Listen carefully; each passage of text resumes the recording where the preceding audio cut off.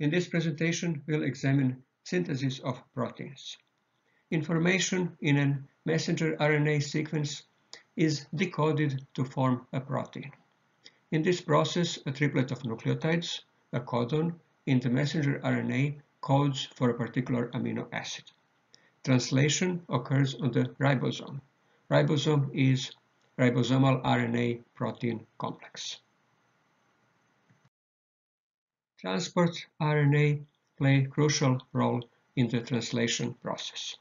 Structures of all transport RNA molecules are similar, as they have to interact with the ribosome and protein factors required for translation. Here is secondary structure, also uh, functions of particular structural elements of uh, tRNA are indicated. If you wish, you can pause the video here and examine this in more detail. We covered secondary structure of tRNA earlier tRNA molecules are L-shaped with anticodon at one end and amino acid group, that means amino acid to be incorporated into protein attached to the other end. A bacterial cell contains about 30 to 40 different transport RNAs, while a mammalian cell can have as many as 150. That means that different transport RNAs uh, bear the same amino acid but have different anticodons. Such transport RNAs are called isoacceptor transport RNAs. First step in protein synthesis is charging of transport uh, RNA or amino acylation reaction. That's the process of attaching of amino acid to transport uh, to transfer RNA. So transfer RNA molecule covalently binds to a particular amino acid and reaction is catalyzed by the enzyme tRNA acyl synthase. The reaction is called amino acylation and product is a charged transport RNA.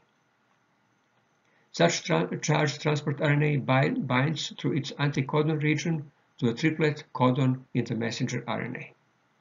The synthase must attach the correct amino acid to a transport RNA that bears the corresponding anticodon.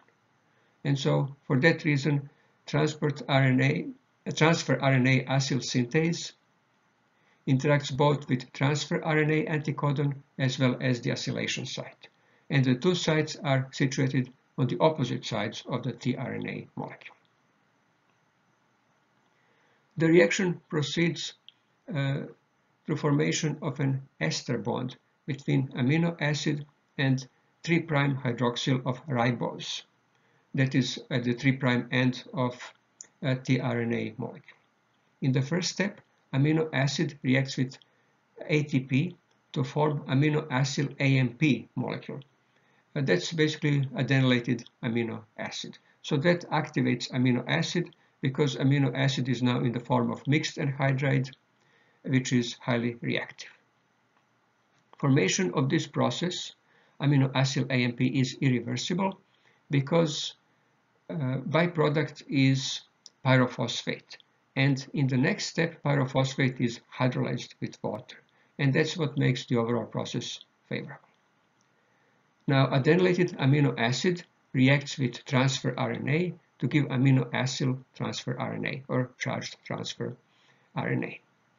There are 20 different enzymes 20 different uh, transfer RNA acyl synthase enzymes, uh, each one for a uh, particular amino acid. The same enzyme catalyzes reaction by all of the isoacceptor transfer RNAs. Class 1 enzymes initially attach an amino acid to 2' hydroxyl of ribose, which is then shifted to 3' position. Class 2 enzymes attach amino acid directly to 3' hydroxyl of ribose. Here is the same process shown schematically where enzyme amino acyl transfer RNA synthase is shown in blue. And so that shows the enzyme. Uh, for example, in this case, methionine is going to be attached to its specific transfer RNA. So it shows how transfer RNA interacts with the enzyme so two opposite ends of it react with the enzyme, also that ATP molecule is attached to the enzyme and methionine. And of course, upon completion of the reaction, uh, charged transfer RNA leaves the enzyme. Ribosome is the site of protein synthesis. In it, messenger RNA and amino acids come together to form a polypeptide. A ribosome consists of two subunits, each containing both ribosomal RNA and protein. The subunits are large and small subunits, which are designated in terms of their sedimentation coefficients. And in turn, sedimentation coefficients are related to particles' mass. Heavier particles have larger sedimentation coefficients. The two units are held together by RNA-RNA contacts, with magnesium ions providing ionic bridges between the phosphate groups. So each RNA uh, chain or polymer has uh, ribose phosphate uh, backbone and uh, the two of them interact through negatively charged phosphate parts of the backbone which are bridged together through uh, magnesium ions, basically as salt bridges. Messenger RNA passes through the small subunit Large subunit contains three binding sites for transport RNA, sorry, for transfer RNA. Uh, recognition sites recognize transfer RNAs by, by their T-psi-C loop. The three recognition sites are designated as A, P, and E. A stands for amino acid. That site binds the incoming charged transfer RNA that will deliver the next amino acid in the chain. P stands for peptide and is the site of, site of peptide chain formation. The transfer RNA in P site is attached to the peptide chain. Finally, E stands for exit. E site is occupied by transfer RNA that has just delivered its amino acid to the chain and is leaving the ribosome. The anticodons of transfer RNA extend into the small subunit to pair up with messenger RNA codons, while amino acyl groups are in the large subunit, which is the site of the peptide bond formation. Translation of messenger RNA requires an initiator tRNA bearing methionine or formylmethionine in bacteria. The initiator transfer RNA does not recognize other methionine codons elsewhere in the sequence. During the elongation phase of protein synthesis, an elongation factor interacts with aminoacyl transfer RNA and delivers them to the A site of the ribosome. The initiator transfer RNA is the only one that binds directly to the P site without first binding to the A site. Amino acyl transfer RNAs are delivered to the ribosome in a complex with the elongation factor, which in turn is bound to a molecule of GTP.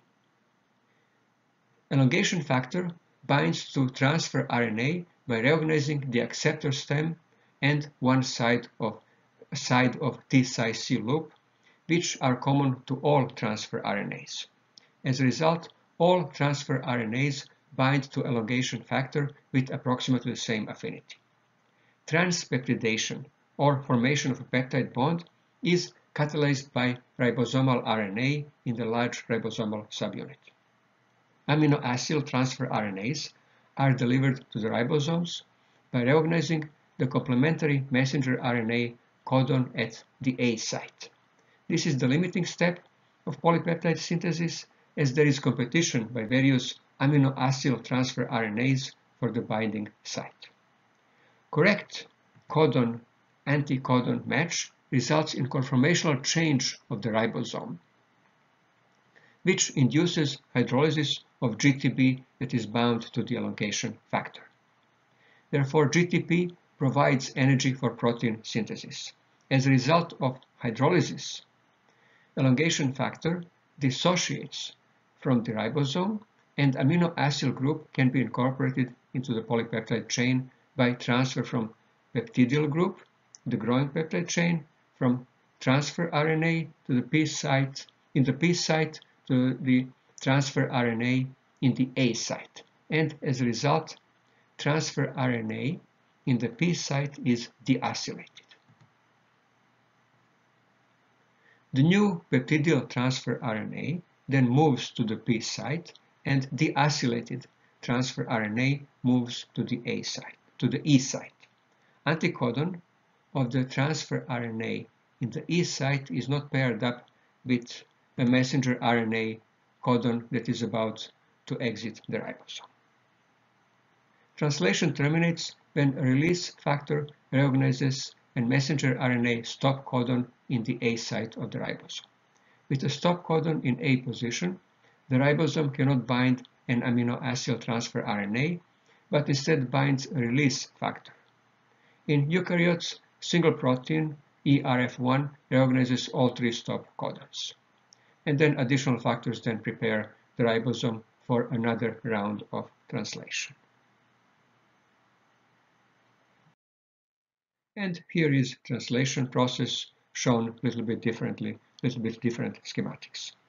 Uh, I don't remember where I took it from. This is not my illustration. I took it somewhere from the web. So it's one of the images that is related to trans, uh, translation of uh, proteins. So if you look it, look it up, simply look at translation of proteins and images and you will find it. The polypeptide released from a ribosome is not fully functional and may have to undergo post-translational processing. Chaperone proteins bind newly synthesized polypeptides to facilitate their folding in correct three-dimensional shape and correct tertiary structure. Large chaperone complexes form barrel-shaped structures that encloses a folding protein. Proteins to be secreted must pass through a membrane. An RNA protein complex, called signal recognition particle, directs poly peptides bearing an N-terminal signal sequence to a membrane for translocation. Additional modifications to newly synthesized proteins include proteolytic processing, that means hydrolysis of parts of it, and the attachment of carbohydrate, lipid, or other groups. So this completes a presentation on synthesis of proteins.